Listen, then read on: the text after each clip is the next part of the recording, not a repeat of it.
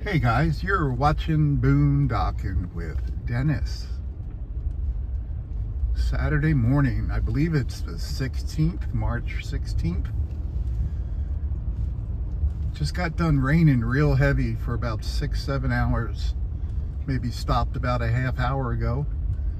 And uh, lots of lightning. The wind was really heavy. You can see those palm trees up there kind of getting blown all over the place. And I've seen a lot of debris around as far as uh, signs from stores getting blown over. And here's a, some blown over signs right there. And there's some uh, chairs blown around from the restaurant. Their signs down.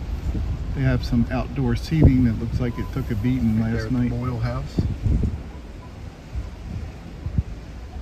It was really good sleeping weather.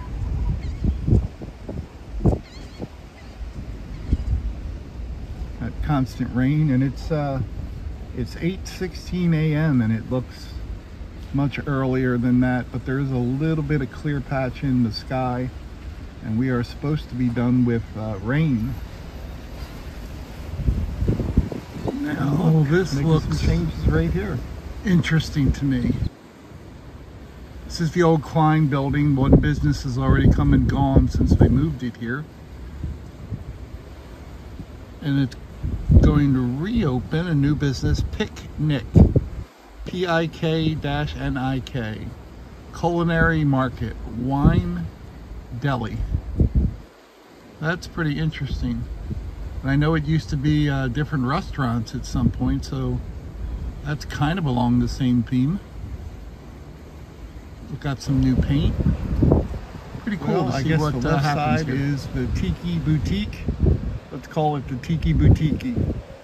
Rockport, Texas. And then on the right, Crazy Crab Shack Candy. Crazy Crab Shack Candy. Dippin' Dots, Taffy, candy, snacks, drinks. There you go. Kids, come get some candy. I like Another the paint job the they did. beautiful Beautiful murals Very they've cool. done in the downtown area. Looks like they're working hard to make some improvements and The High Tide Beach give Company. people more reasons to come to. Rockport. Well, that's new. We were in that building before. Uh, Wayne did a book signing there, right?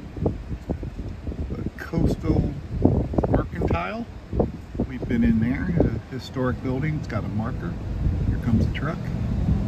Because it's Texas. New beginnings. I believe this is a private art gallery, Mason. I'm saying that right. Songbird Chic. Looks like they got some interesting things in there. I don't know if I've ever been in there, at least while it was that business. The Mermaid Ranch, which is like a clothing boutique. I don't know what this green building is. I don't see any signs. Rockport Living, another boutique type store. Looks like they have clothes and, and knickknacks and things like that. And then you can tell by the the white caps and barber waves that yeah, the wind is really kicking up. But there's a clear patch of sky over there, so I thought I might get some footage of that before it went away. Not sure Skies what kind of day it's too going to be bad behind Maybe rock bottom. Hard to check. It's uh, now 8:26 on a Saturday morning. Not much of a crowd there.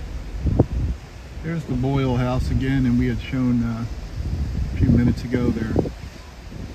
Chairs blown all over, signs blown down. Avidity Hair Salon. Okay. I don't need that. Beach something behind the palm tree. Beach House. Salt Flats Gallery. Pretty neat. This always used to be a jewelry repair place and uh, sold watches and jewelry. The Lighthouse Christian Gathering. Hmm. I think it was a lawyer's office for a while too, somewhere in there. This looks like it used to be an empty gas station from years and years ago. I'm gonna let a car pass me. There you go. Don't worry, Calvin. It's it's not FedEx. We're safe. Treasure Islander. Souvenir shop, and it's got the murals on the side. There's the, the candy store and the boutique we saw earlier. Coastal Art Market. Taffy. Cezanne Art and Jewelry. Attitudes and Latitudes. The Salty, I can't read it, Wind and Way Gallery. Magnolias 2, TWO. Going Coastal. Outfitters. A nice place. Then down the end here, you got the, the Playhouse. Rockport Little Theater. And then uh, Latitude 2802 Coastal Cuisine, and they have art, and that is. I only got to eat there once, and high-end service, really good food. And then Pet Once. Ooh, what is Pet Once? Is that new? Nutrition you can trust. Pet Once. So, pet food? Then over there they got the the courthouse and the uh, uh, city hall they're working on. Boy, they're getting up there with those towers and the and we might catch some wind here, but now that the rain ended, they're starting to set up for day two of uh, the farmers market. And I imagine a lot of these little tents took a beating overnight in that wind. Yeah, this big tent is, I don't know if it's down or if they took it down before the wind started, but when we left here last night, this was up and they had a band in there and people were eating. This isn't part of the Crawfish Festival. This is a regularly scheduled thing. Every third Saturday of the month, they have a flea market here right on the property of the uh, Navigation Fairgrounds. Sky's not looking too bad though. What I did want to show you turned out to be a decent this day. is kind of a surprise to me. When we were talking to Luciana the other day, this whole area was covered in construction equipment, and several people mentioned why would they do that on spring break? Well, no sign of construction equipment. Looks like they got the blacktop in. They also put in some large rocks on the other side of the seawall there. And uh, yeah, lots of parking for Actually looks nice. events coming out out that way. Pretty cool. Got the wind on the other side of the truck. Little filming trick I try to use is just have one window open and film out that window and try to uh, use my truck as a big windscreen. But if you can spot those flags in the distance on the other side of the harbor there, you can see everything is whipping around. Well, it's that time of the day. You ready? I asked my wife if I was the only one she'd been with. She said yes, all the others had been nines and tens.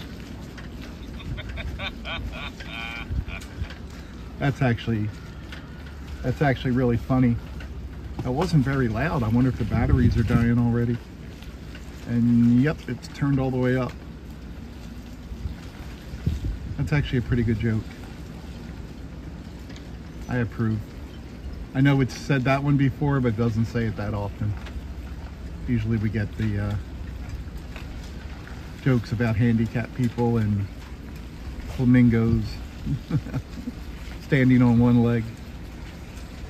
Here's a, it's a B plus. Trail light B plus it says on it. Empty spot.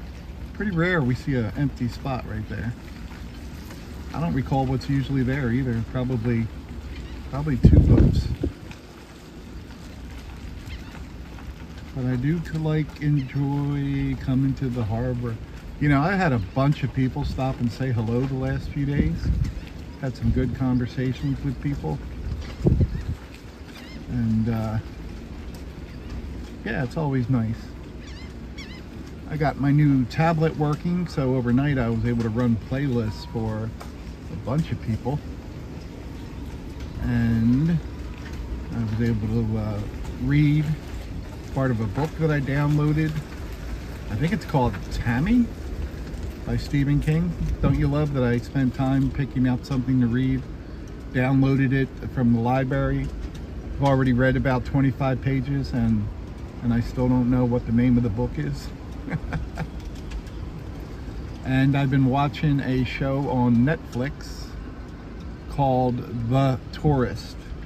I watched the first season, it was only six episodes, uh, set in Australia, kind of a mystery type of thing, police, uh, crime type thing, and then um, Well, guys, Rockport I think I've watched the first really crowded so yesterday when I left.